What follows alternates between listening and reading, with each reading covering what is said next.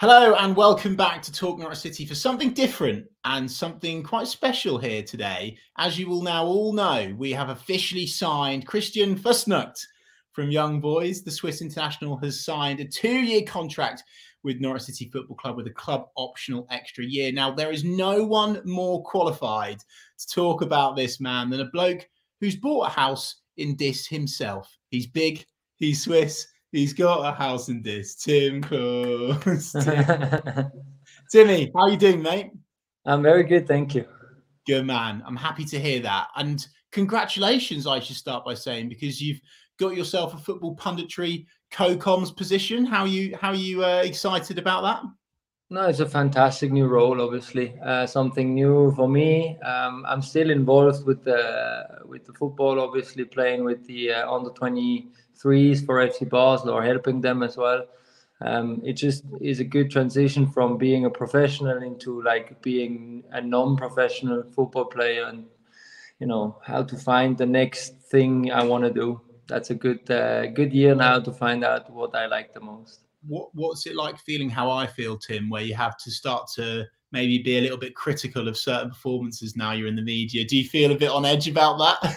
No, I um, you all know me. I'm very honest. I'm and and people like that about me. I think uh, that's why I I never like crashed into someone or never had a big issue with someone because I was quite honest. And if if I see someone is not performing well, I am not afraid to tell. Um, so I don't know. I so far everyone or all the feedbacks have been good. So uh, yeah, I'm looking forward to it. Obviously. Good man, good man. So we're here today, obviously, to talk about your Swiss football friend, uh, Christian Fassnacht. Let, let let's kick off with, with what he's like as a person. Because am I am I right in saying to me that you you played with him at the Swiss national team? Am I right? Exactly. Yes, uh, we played together for the national team. Uh, I know him very well because I have another friend who was playing or who's still playing for young boys.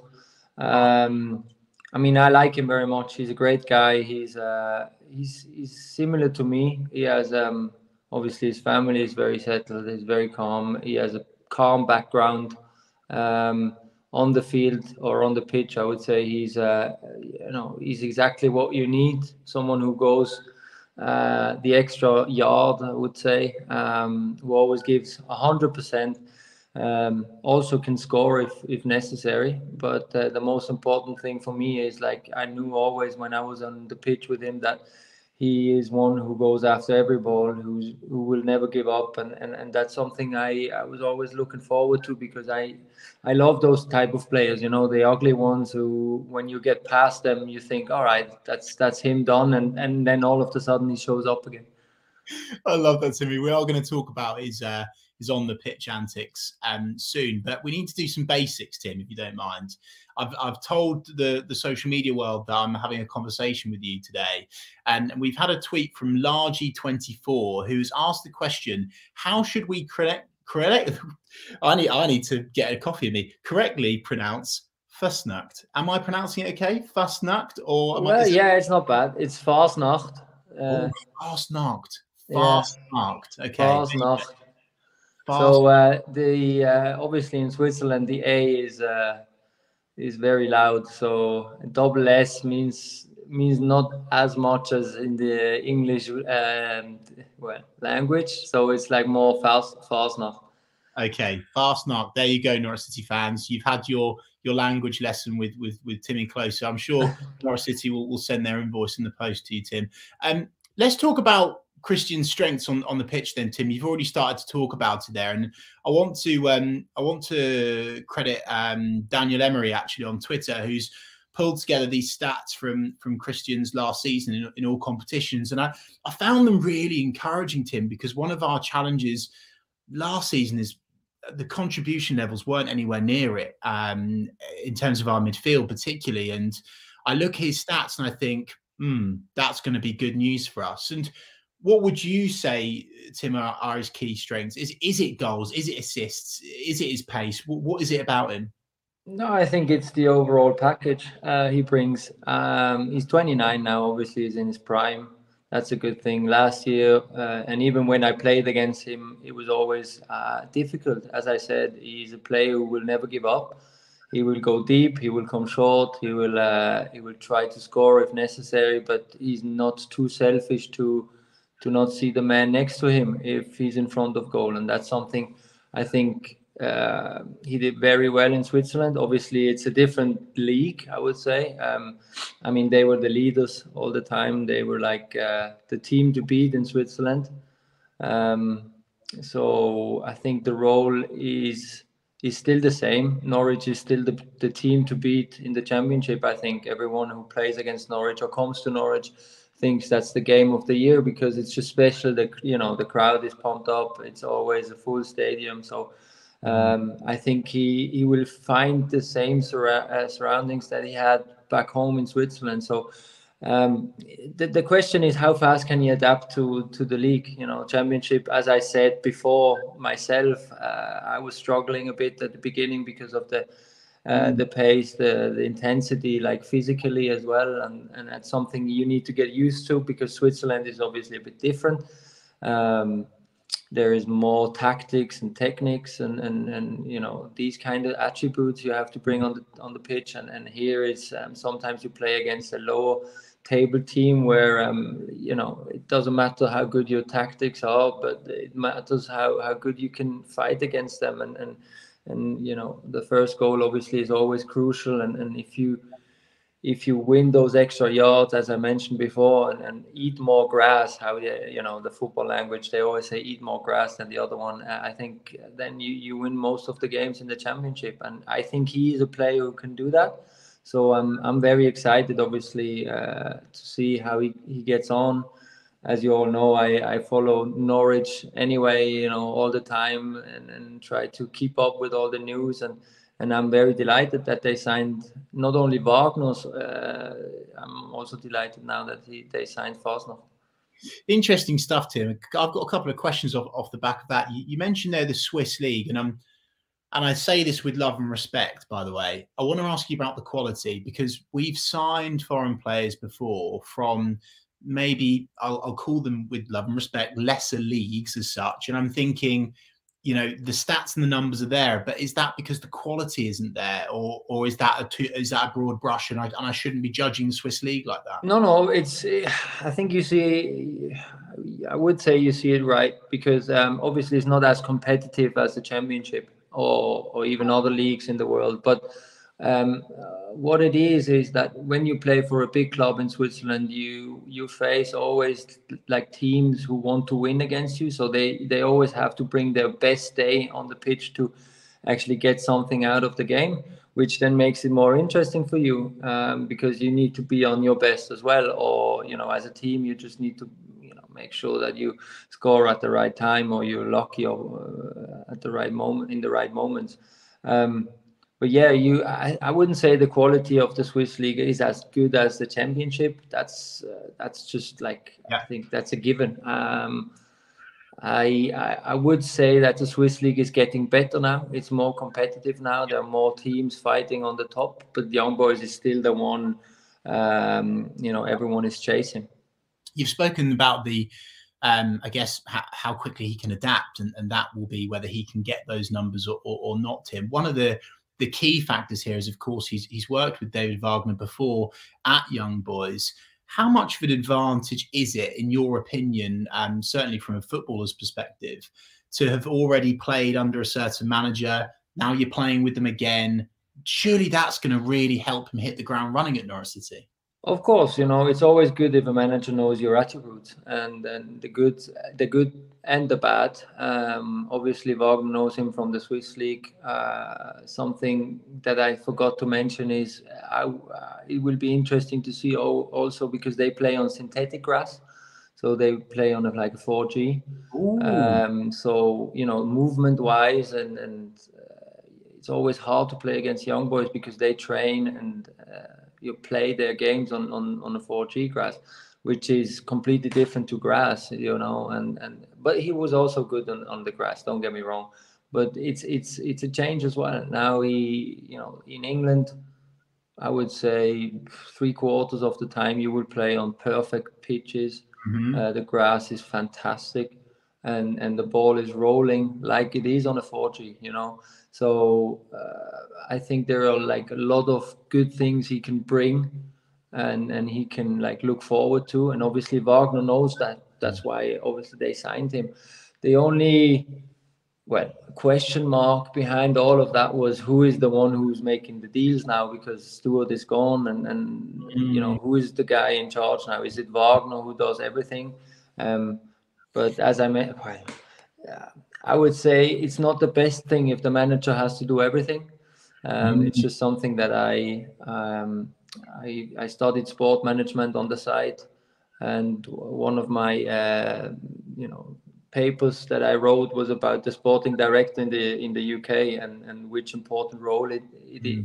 it, the sporting director has and it's it's it can bring good things and bad things if you have if you have no sporting director because now Wagner is the one who brought him in. If he fails, then everyone is, you know, getting on the back of Wagner. So mm-hmm. maybe if you have a sporting director, that puts a little bit pressure off your shoulders. Do you fancy yourself as a sporting director, Tim? There is a vacancy at Norwich City Football Club at the moment.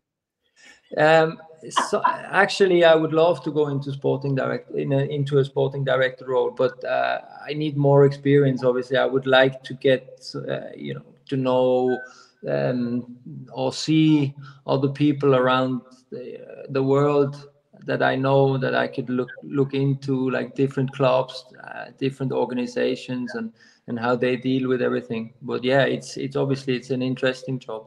Tim, you've got me excited. I've got this sort of big cheese dream now of Timm Klose in the in the stand, sort of dictating the orders to everyone at the football club. I love the idea of that. I really, really do.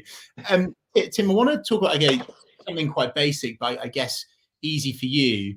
Uh, we're of the understanding at the moment, position wise, that he's very much an attacking midfielder, but but tends to play off the right hand side.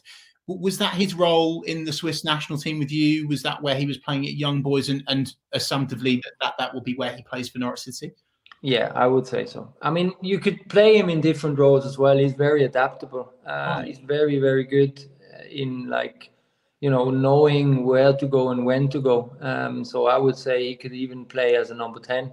Right. Uh, yeah. or, or maybe as a striker because um, at Young Boys they had like two strikers and then they had like three behind them. And yeah. he was always going from the left or the right. So they would like changing positions.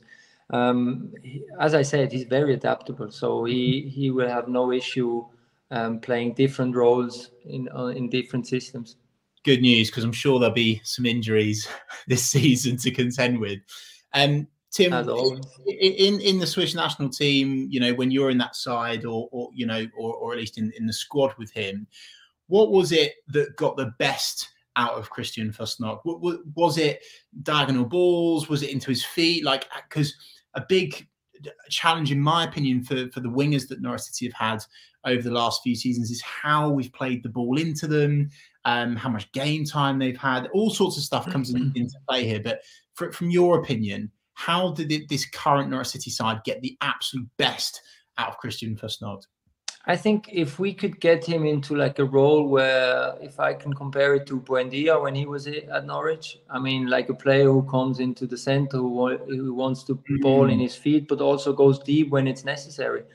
Um, you know, he's that kind of player who can win balls up high um, but also can if we I don't know get the ball back in in, in a low block, he can go deep and, and, and you can send him with the long ball. So it's it's more about how fast can you bring a team together who plays you know few games together to then you know these automatisms who who are so important in football and then if if those like little things work right then it's like a, it's like a bicycle you know it just it just rolls You've convinced me, Tim. You've convinced me. That sounds good. There you go, Norwich City players. If you're listening, that's what you need to do.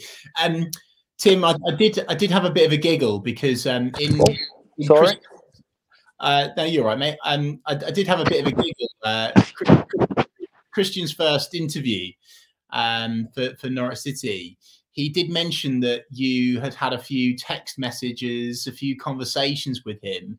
I am going to put you under a bit of pressure now, Tim.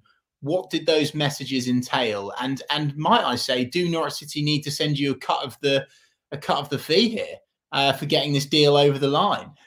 No, obviously we were talking before he signed for Norwich um, because he was not able to go over and, and, you know see the city, see the training ground. I think uh, everything was quite fast in the end. But we had a chat. We um, I told him about like how much I liked it or loved it actually in Norwich. Um, how much I I not only loved it to play for the club, but also felt like my family felt very safe and and, and home uh, over there. And and I think when we were talking about the city, the Broads, the the the, the sea, um, London is not too far away, uh, but Norwich has to, you know, they you can have a lot of things going on in Norwich. You just need to find the right places.